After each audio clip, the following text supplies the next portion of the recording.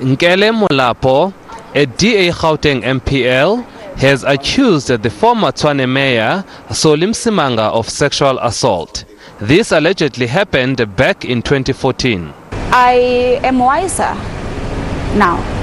Um, I can I can tell the difference between I was 28 then I'm, I'm 34 now.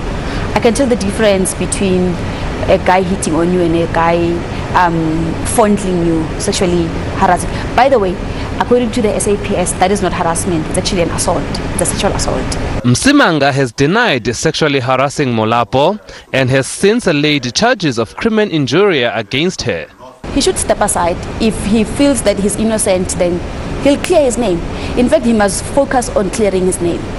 Um, he must not have all these distractions. The timing of the sexual harassment case has been questioned by Msimanga supporters.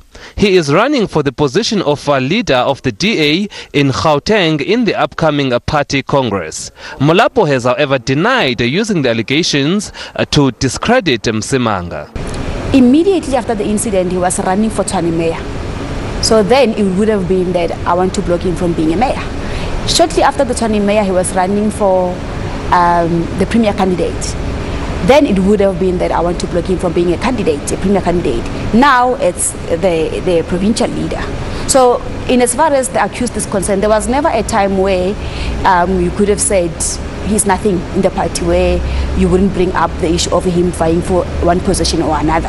Msimanga is a former Tshwane mayor this sex scandal follows that of his then successor, Stevens Mokgalapa, who resigned as Tshwane mayor following allegations of sexual misconduct. You, you will know that the, the, the DA has asked many times since the time of President Zuma that when there were allegations that were leveled against ANC leaders, they would come out and say they're demanding that a leader of the ANC must step down while the allegations are investigated or there's a court process.